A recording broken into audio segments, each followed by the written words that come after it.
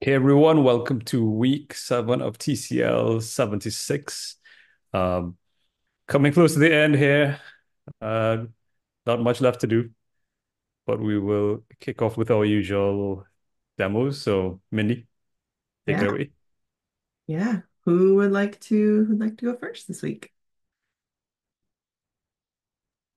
We can go first.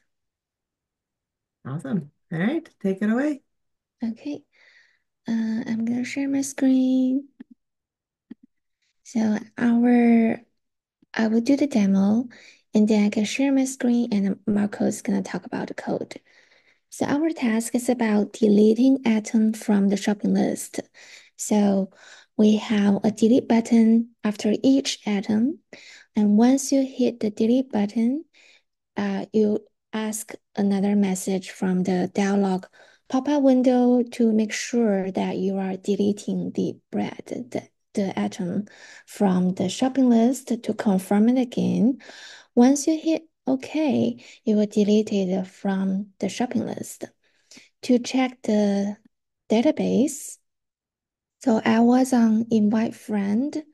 Oh, so this item we have beef egg eggplant and shawmai.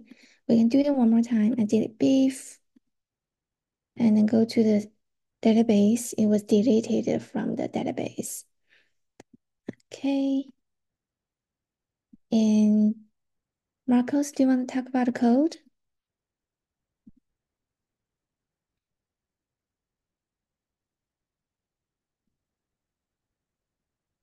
Can you hear us? Trying to get his microphone to work, it looks like in the chat. Mm. In the chat. Okay. I'll give you a minute.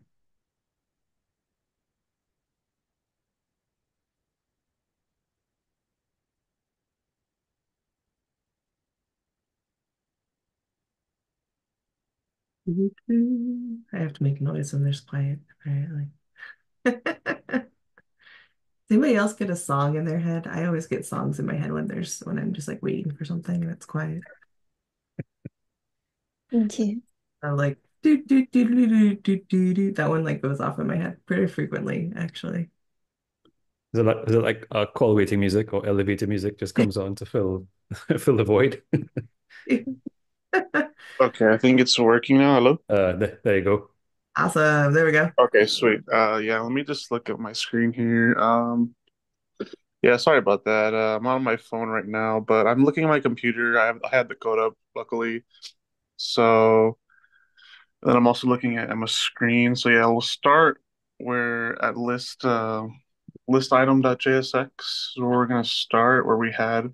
So if you go all the way to the bottom, um, first we just we're gonna have a button and we implemented the it's going to have an on click and we're going to go through our handle delete function. So we'll go up to handle delete. and then in here, we went ahead and wrote a statement where we get a window to confirm. Sorry, on. Uh, I'm trying to find handle delete. Oh, okay. I think you were in list item. Probably in the, in the wrong file. Yeah, that's Yeah, it's, it's in list item. Um, yeah. Is this okay? Right. Uh, over here. Listen. Yeah. Okay. And then at the top, there we go. Yep. There it is. So first we get um an alert asking if you want to confirm uh, the the deletion of the item, and then it'll it'll give it by name, whatever item that is. And then if uh, you get past that, if you say yes, uh, it's going to go through local storage, find that item, and then we pass in into the delete function the both the list path and the item, and then that will be deleted from um, both the list and in Firebase. And then let me go ahead, let's go to firebase.js and we'll just quickly talk about the delete item function here. And so I think the the one thing that we kind of had trouble with was figuring out uh, the layers of Firebase um, and figuring out what we really needed to pass in into the function, and then also how we were going to use delete doc and what we needed to pass in there. Um, so basically, we pass in list list path and then item, and then we have our try catch here. We're going to await the delete doc, which is from delete doc is from Firebase. It's something that we found in the docs to use. And then, like I said, we were just having a bit of trouble figuring out what we were going to put inside of delete doc. Um, but after a little while, a little research, we did kind of figure out the, the layers of how it works um, because we both really haven't used Firebase that much, so that was really good to learn. But yeah, it was pretty simple. It was pretty simple function, but um, that's how we came up with our code for the week. Thanks. Any questions for Emma and Marcus? Um, just generally for everyone, like over the past few weeks, have you all started to feel more comfortable diving into documentation and trying to find, you know, stuff that you need? Um, at least being able to sift through it in a faster, in a faster way just to get to what you want, because there there can be like a whole lot of things going on. So do you all feel a bit more comfortable doing that now? What what is your approach? I think in our case, we need to uh we also use Stack Over Stack Overflow and other documentations. Like people are running the same issue online, even from years ago. So very helpful to see their approach.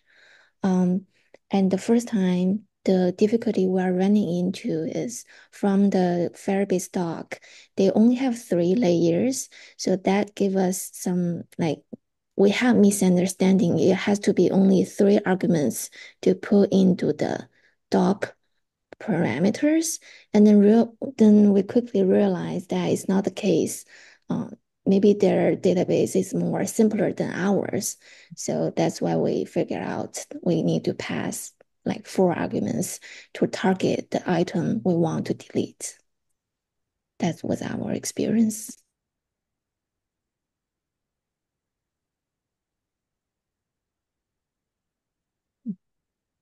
Any other questions? Thoughts? All right, we'll move over to Allison and Sarah.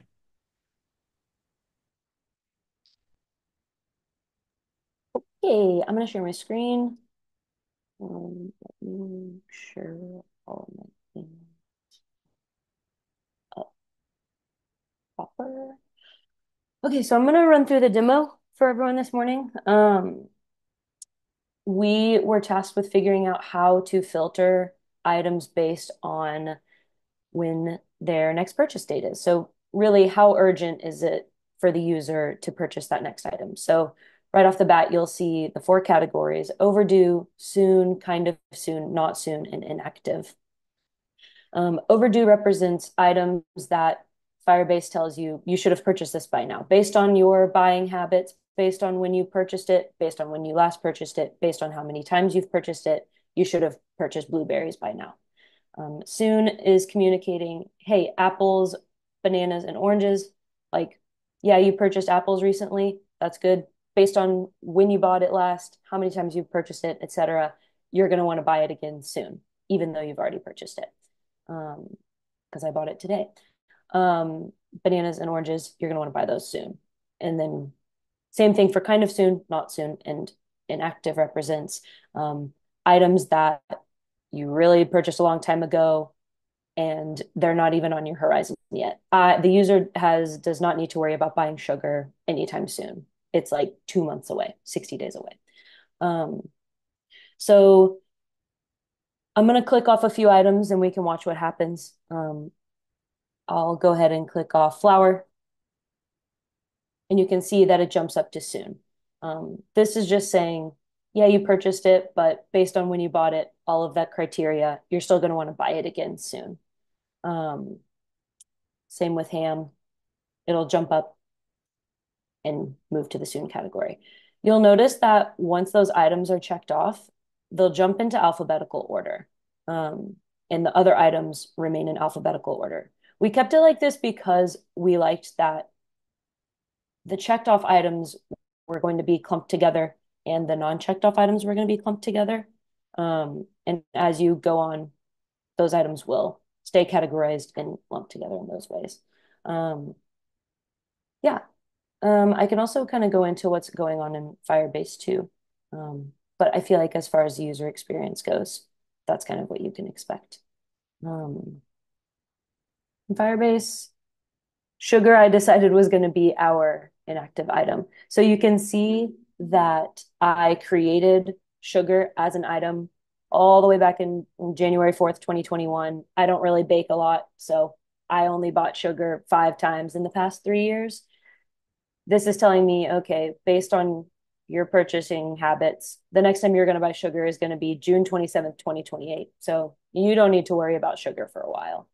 Um, blueberries, I first added it last week, and since then I've bought it 11 times. I should have purchased it yesterday by now. So this item is overdue.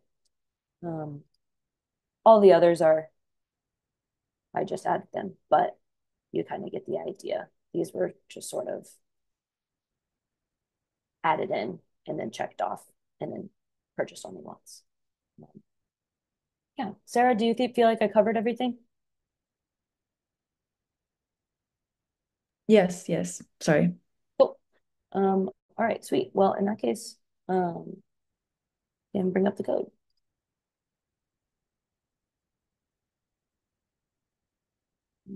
Okay, that's a little big for me. Sorry, everybody. Um, okay, so the main things that we needed to include in our code were we needed to create and export a function called create, sorry, compare purchase urgency. Um, this was basically how all of our items were going to be compared to each other. Um, I was excited about get days between dates. This was a function that um, Devin helped me create last week. Um, and it was exciting to get to use it in a new way um, and kind of manipulate the function to get it to use it how I needed it this time.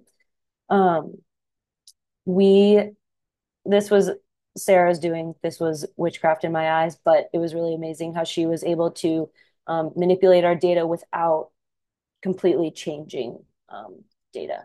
Um, I can also talk about um, how we decided to separate them out into these categories.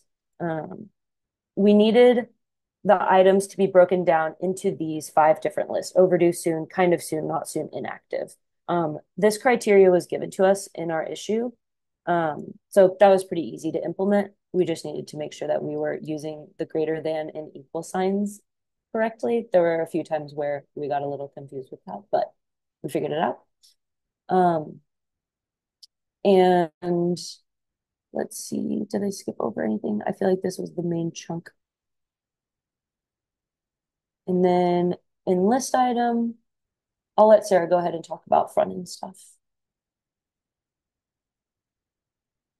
Oh, wait. No. This is Okay, cool.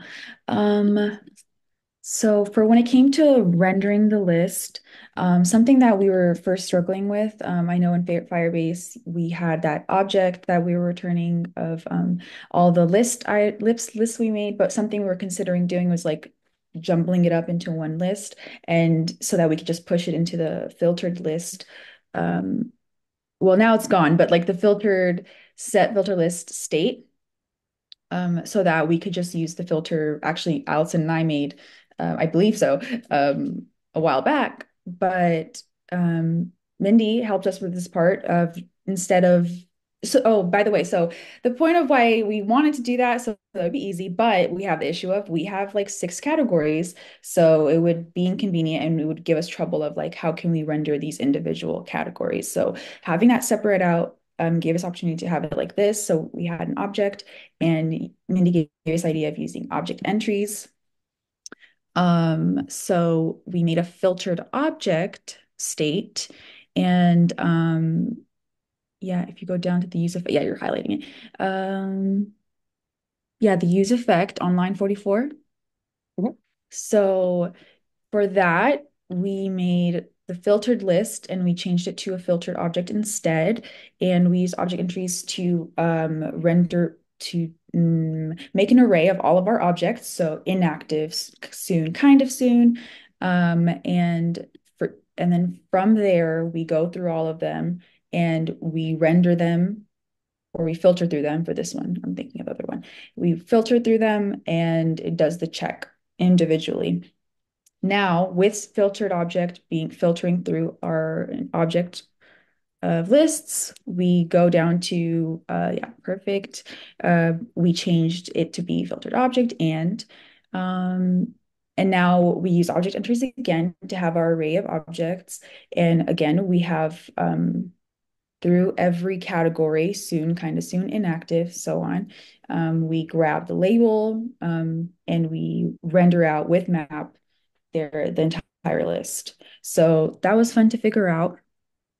And um, Mindy also gave this idea to have all the labels controlled in um, the labels object above in 36. So that was cool, um, having it organized there. And then we also used, besides our labels, like our very obvious labels of what they were overdue soon, kind of soon, we use um, exclamation points. Um, we called it a temporary placeholder um, just to show urgency. Um, so it would be more clear of one, the name is already clear as it is, but also kind of showing um, importance by how many more icons versus four different icons. And I think, yeah, I think that was pretty much it for that one. Did I miss Yeah. anything? No, just to kind of add on to what you were saying about our labels, um, we really wanted to focus on accessibility, and we felt like this was sort of the most obvious way to do it. We knew we didn't want to use or focus too much on color, especially because we're not in the design phase of this project yet. We wanted to make sure that there was something a little bit more obvious and functional.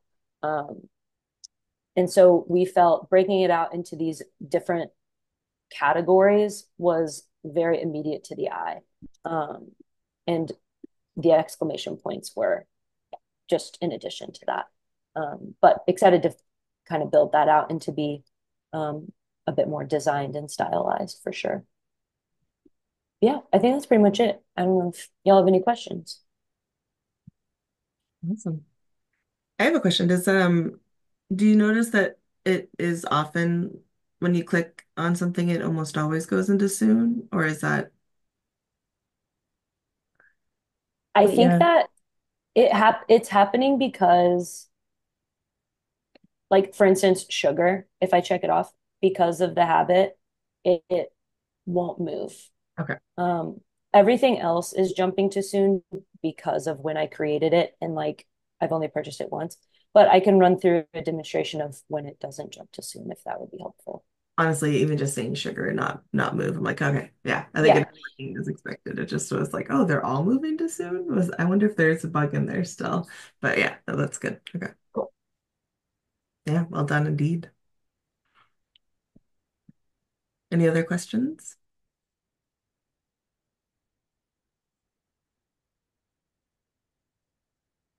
Awesome. Woohoo! Well done, y'all. You got through your last uh last paired issues that have been assigned for you. And now I'll pass it off to Devin. Yeah, nice, nice work, everyone. All right, so let's get to your very last issue. I should say, last formal issue. All right. So this one is the one that's very much design oriented. So as a user, I want the app to look professional and welcoming when a user opens it. All right, so the last two weeks of this project will function a little differently from the rest. Your team will self-organize around a lightweight design process to come up with a polished look and feel for your app. So this will require you to make decisions together as a whole team and then implement that vision. So this process outlined here is just our best suggestion of how to proceed, but you're free to take whatever approach you would like. So this is the last issue on the board, but that's because the expectation is that you will write the stories needed to complete the implementation of your design direction. Um, if you look at the issues board, you've, re you've realized that Sarah's added an issue already, which is great. Um, I've also added one which was regarding the bug. So you could use this as a way to set up, you know, set specific goals for what you want in terms of design. Um, and even with that, I would also still encourage you to add issues for maybe features that would be nice to have. So it still looks like the application is in development. You've thought of, you know, some ongoing development uh, for the app itself. Uh, so, and as always, you can lean on your mentors if you need guidance on how to proceed. So the design process, this is something I'm very not good at. So I tend to lean on, you know, other teammates or other resources. But I do appreciate a good design of an app. So questions you could think of, you know, what what is it tone you're going for? What is the feeling you're trying to convey? You could do things like coming up with three to five words that best capture how you want user to perceive your app. Um, you know, what kind of feel are you going for? Is it going to be fun, uh, clean? I don't know what ironic means. Uh, business-like, you know, maybe elegant, those kinds of things. You can you can create a mood board, and a mood board helps to get everyone on the same page um, in terms of figuring out direction that you want to take your design. So you can add elements to the mood board. You know, this could be things like just copying images or specific color palettes, those kinds of things. Um, you could design on decide on the fundamentals of your design, including the following. So typography. Google Fonts is a good place to find stuff. Um, there are other, many other places on the internet. Uh, colors. So we do want to include color at this point, um, but you can make sure that they're accessible. One thing I'd say with respect to accessibility and colors, to pay attention to things like contrast between your foreground and background elements, right? Sometimes if you don't have enough contrast between those two, it makes text a bit difficult to read. Um, things that you could also include would be icons and images. So, you know, find icons, images, uh, at, you know, provide attribution if if it is required.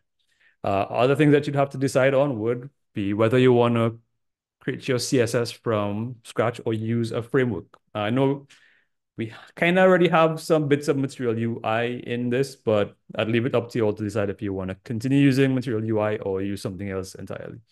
Uh, as you realize, vanilla CSS gives you more control at the expense of time taken to actually implement it. Frameworks, you know, give you nice stuff out of the box, but gives you less control over the look and feel of the components. So if you choose a framework, you know, evaluate the options and pick one that's best suited for your needs. I would say consider things like the quality of documentation. Maybe maybe lean towards a framework that's a bit more established and has a lot more uh, support behind it. Some, you know, some there are some frameworks that may work well on one browser, but not so much on another. Um, so look at things like ease of integration, uh, preferably one that's built with accessibility in mind. And one has a fairly active community behind it. So these are just some of, of the examples that you have available now, or maybe even when this when this um, issue was written. I think there are a lot more right now, but you do see things like Chakra UI, Material UI, uh, ShadCN, and all these. Um, so it's free for you all to to pick and decide, decide on the design. Uh, like I said, I'm not great with design, so I you know to ask me to choose colors, I would use sites like uh, colors or coolors.co where it actually gives you come on see. Yeah this this actually allows you to generate a color palette um which is helpful for people like me. And even things like you know pairing fonts there is a website like FontPair that gives you options on which fonts work well together. Um, again, if choosing fonts, you want to lean on something that is accessible in terms of being easy to read. Um, I never thought about these things before, but some font types, you may have letters that look very similar based on the size and style of the font. So you want to you want to look at accessibility in terms of uh, your fonts as well. And that is pretty much it for this one. Uh, with respect to writing your issues, you you can't frame them the way we were before as you know, right, as writing a user story.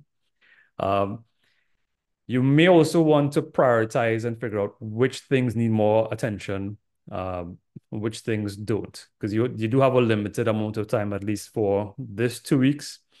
Uh, you can keep developing the application afterwards if you want to, but keep that two week deadline in mind for presenting a good working application. Um, not sure if any of the other mentors want to jump in here. I will say one thing I have seen happen is that uh, some collabs try to to to do too much and end up with a half-baked or broken application when it's time to present. So that's why it's important to prioritize, you know, what is important, what what should we implement at this point in time, and what what's nice to have and we could do after the fact. Along those lines, keep your PRs small. The smaller the PR, the more likely that you're going to keep your stuff in scope and the changes working, right? Yeah, I'd agree about not doing too much. I usually find that it's easiest to do layout first, like not think about any of the colors and fonts and all that, but just like kind of get things where you want them and then start to make it look pretty.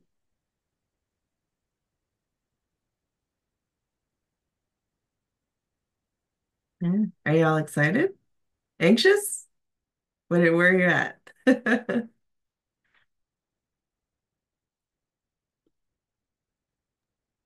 I feel excited and nervous. I don't really know like how I'm glad that Nathan, like y'all just touched on, it's like a good starting point is figuring out like where to start, kind of.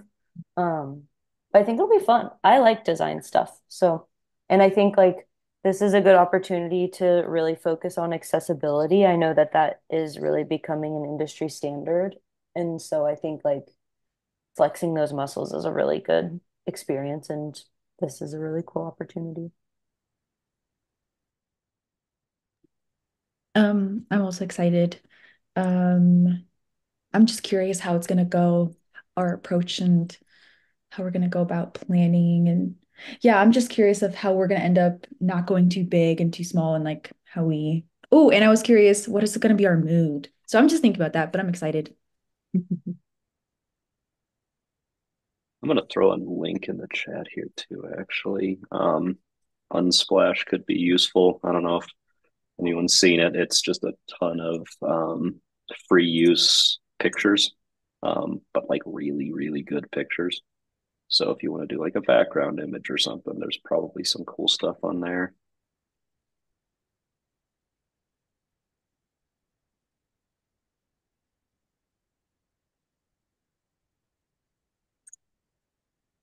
Yeah, and uh, remember this is self self-organizing, so y'all all have to like kind of step up and figure out how you want to do that. Um, I would recommend again the, you know, generally start earlier and finish so you you have plenty of time. Yeah, um, maybe figure out uh, what you would like it to look like. Like, you know, a small end goal in mind and then build towards that. Because it is very easy to get overwhelmed with too many details all at once and you end up with some analysis paralysis. So Mm-hmm. keep keep it very small, like Mindy said. Uh, set small goals and just work towards them. I think it's it's easy to, to it's easy to iterate on something as opposed to nothing. Um, I had a question. So since I'm guessing two weeks would be our final demo of it completed, right? So is there an expectation of what next week should look like, or is it just whatever we are at? Um, Uh, as far as like this meeting. Yeah, like yeah, what is the expectation for our demo as a group? Yeah. So let's see, we have um we are on week seven, so we're starting right now, right? So next week we have um we do have listed a demo and a retro. So like my assumption is just what whatever you, wherever you're at, whatever you're at, try to have it Yeah. demoable in a demoable state. You good?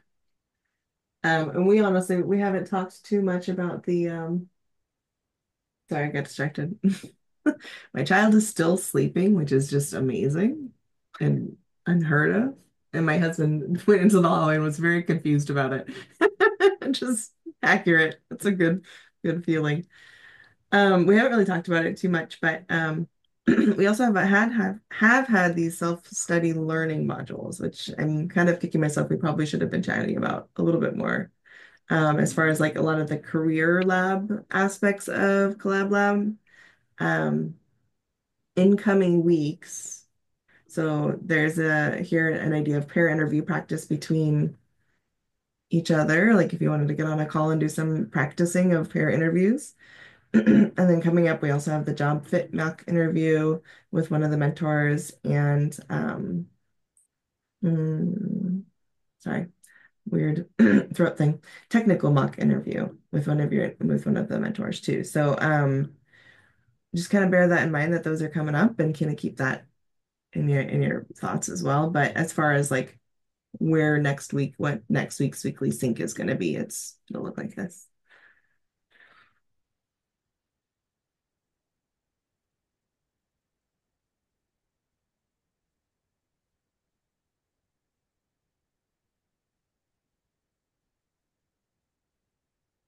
How has the career lab stuff been going? Have y'all have y'all touched on it or has it been too much with everything else?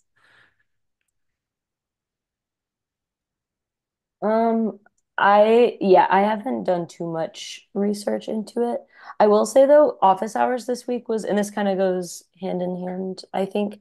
Office hours this week was really fun. We just got to talk with Nathan about like how do we talk about this experience? Like Good. What even is the collab lab? Like how do I use this like moving forward?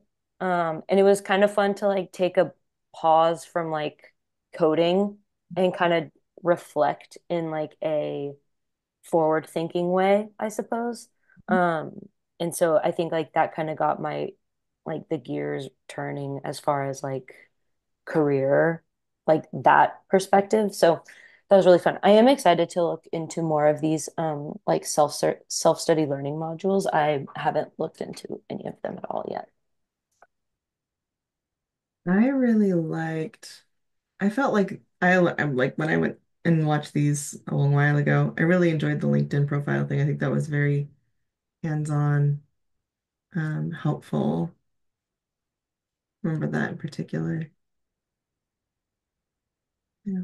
Anybody else? Um, yeah, I looked at the LinkedIn one. I guess I did look at, I think I just haven't looked at this, the talk, the this week's or last week's, I guess. Yeah, that one, that's the one I haven't seen. There's only two, I'm guessing, but yeah, they're very helpful. I like the LinkedIn one as well. Um, it, it looked like it was like uh based off of Danny's um the the person on LinkedIn who, who gives a lot of LinkedIn advice. So, but it was like it felt very succinct because I know those videos can be long, so I was appreciative of that. It was really helpful. Nice.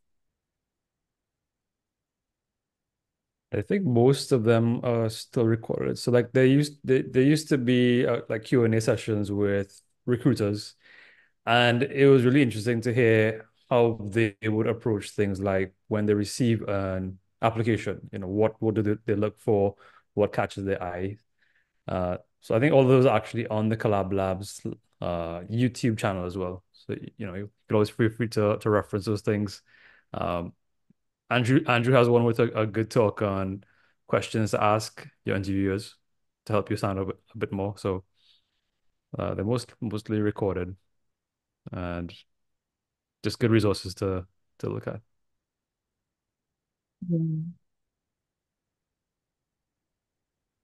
Feel like there was also a career. I was going to show you all. There's also like a whole resource here, but I'm, I haven't, I'm not seeing it. It might be one of these.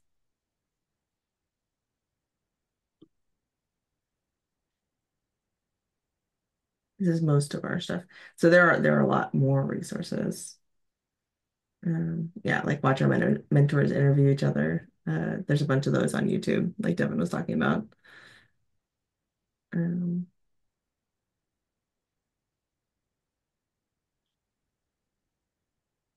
there's a whole, we have so much stuff about job job career look career uh, hmm,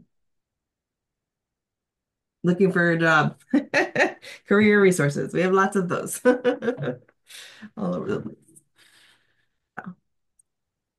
Awesome. I Um, had like a random piece of advice pop into my head. It, it might exist in one of these videos, but I'm just going to throw it out there because it also might not.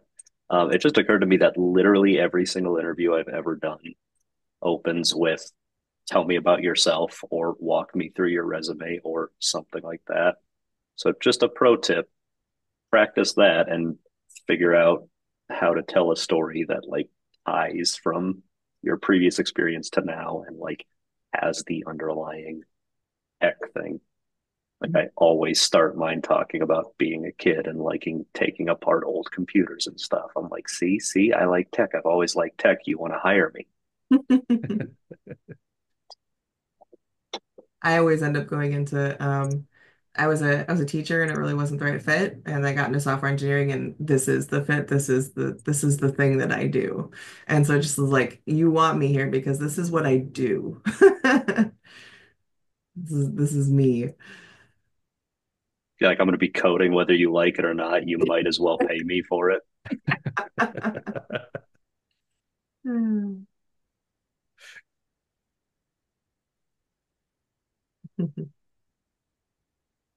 I have another question.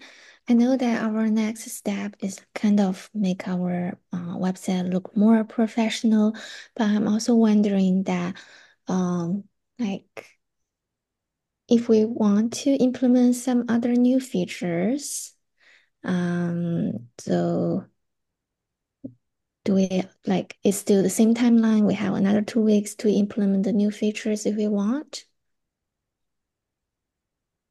Yeah, I think once you all agree as a team that those are features you want to implement and that it does not interfere with the main goal of just having uh, a well-designed app. You know, Mm, if you do have the time and you're able to do it, I think by all means go for it. okay. we also haven't talked too much about this but we are planning on doing like a cohort wide demo So whoever would like to, like, you can decide at a later time who would want to jump in and do that in front of the the rest of the cohort.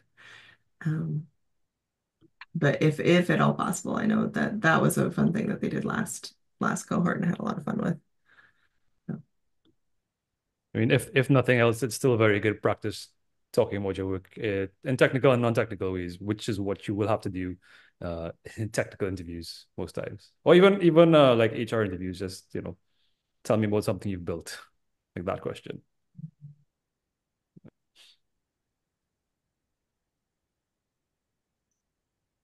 All right, we're maybe done a little early unless there's more questions. We could uh the mentors could well actually I'm not sure if I can actually make y'all a host because of permissions, but y'all could get on the call and, and take the last 10 minutes to start collaborating, figure out what you want to do. Yeah, I think that's a good idea. Are y'all free, Emma, Sarah, Marcos? Do y'all want to stay on or hop in another call and kind of just touch grass for a second? Cool. I can set up um, grass. a Google Meet for us. That's a very funny phrase. Mm, good. Yeah. Awesome. Right. Well, I guess we could wrap up here. Uh, leave it to you all, and yeah, reach out as needed. Mhm. Have fun. All right. Good luck, Thank everyone. you. Bye. Bye.